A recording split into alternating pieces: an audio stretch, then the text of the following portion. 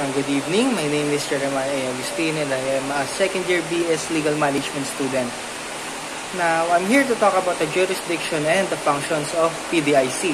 Now, first of all, what is the jurisdiction of the PDIC?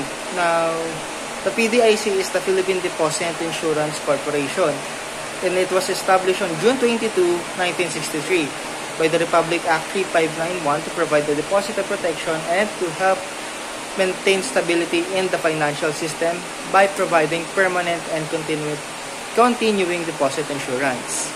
Now, the PDIC is a government instrument. Um,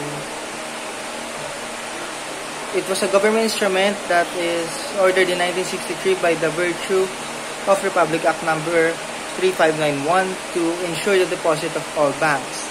Now, the PDIC exists to protect the depositors by providing deposits insurance coverage for the depositing public and help promote financial stability.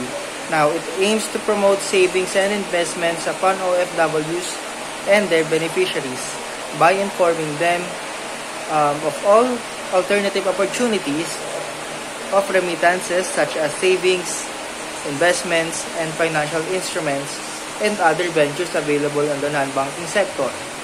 Now that is all. Thank you.